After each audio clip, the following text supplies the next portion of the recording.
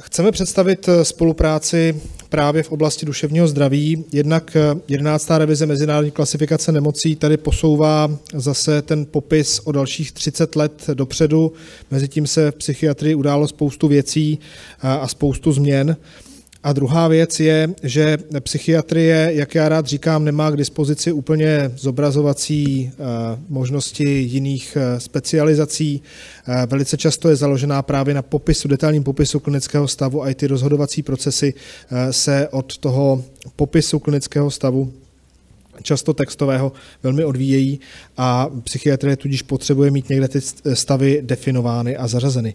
Eh, psychiatrie používá nebo vyjadřuje se o těch klasifikacích jako o diagnostických manuálech, což je rozdíl oproti jiným specializacím a velmi používá extenzivní informaci, která je jednak v mezinárodní klasifikaci nemocí a jednak eh, v klasifikaci DSM.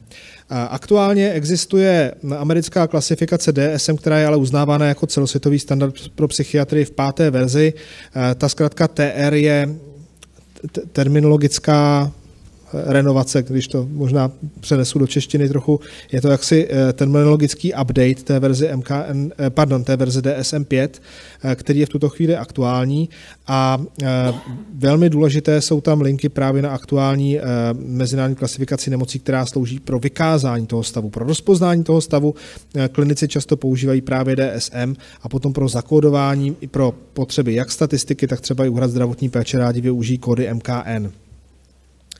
My jsme spolupracovali s editorským týmem českého překladu DSM 5TR, eh, abychom provedli neautorizované mapování eh, DSM 5 a MK11. Proč neautorizované? Je to z toho důvodu, že zatím to není oficiální eh, podoba, kterou by mm, jak si definovala a stála za ní Světová zdravotnická organizace, ale pokusili jsme se provést prostě převod těch jednotek i na terminologické úrovni českého překladu mezi DSM a MK11.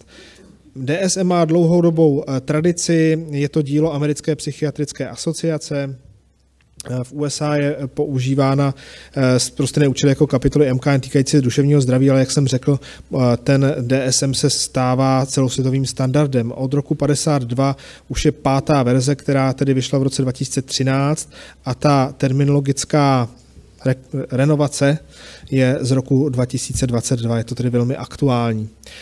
Eh, česk, anglická verze obsahuje kódy eh, ICD-10-CM, což je klinická americká modifikace MKN10 a eh, nově tedy to české vydání obsahuje, jak říkám, úplně světovou zdravotnickou organizací neautorizované, ale do nejlepšího možného stavu dovedené eh, kódování nebo převod na kódy MKN11.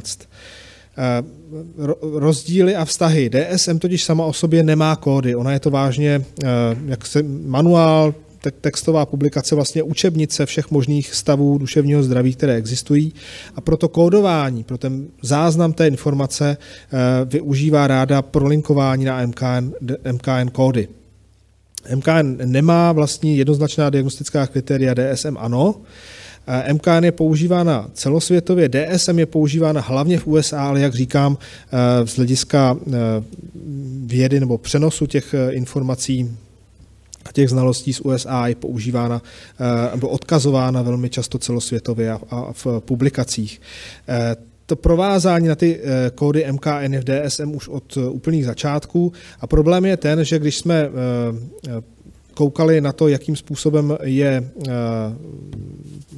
intenzivní vlastně ta dlouhodobě ta spolupráce a vytváření těch odkazů na ty MKN10 kódy, tak těm editorům českého vydání přišlo jednak škoda, aby tam nebyly odkazy už na nově platnou MKN11 a druhá věc, velmi intenzivně jsme Eh, pracovali na sladění terminologie. To znamená, když se něco nějak jmenuje v DSM, mělo by se to stejně nebo podobně jmenovat v MKN 11 a pokud to není ten preferovaný termín, tak by to tam mělo být uvedeno alespoň jako synonymum. Ehm, chtěli jsme, aby to tedy byla publikace pro Futuro a ten, eh, ta iniciativa nebo to přání eh, vlastně bylo právě od skupiny překladatelů, respektive od České psychiatrické společnosti. Měli jsme nějaká omezení. Jedním z omezení bylo, že eh, ten anglický originál odkazuje na tu clinical modification, na, tu americkou verzi, která není úplně v České, České republice podporována, když to velmi zjednoduším. Oni mají pět až šest míst toho MKN10 kódu, to v České republice nikam nevy, ne, nevykážete, takže u nás došlo k relativně jednoduchému ořezu. Řekli jsme čtyři místa, tedy to, co můžete vykázat eh, v České republice, tak tam uvedeme. Eh, nebo respektive ono tam je ten, ten původní kompletní kód, ale pro to vykázání použijte čtyři místa a dost.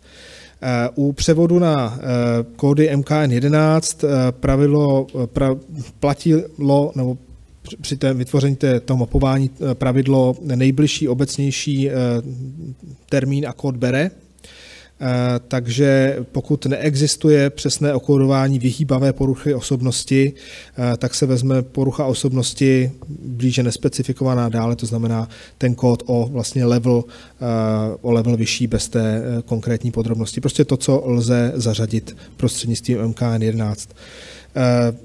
Nevím, jak eh, tedy kolegové z psychiatrické společnosti, my si tu spolupráci velmi pochvalujeme.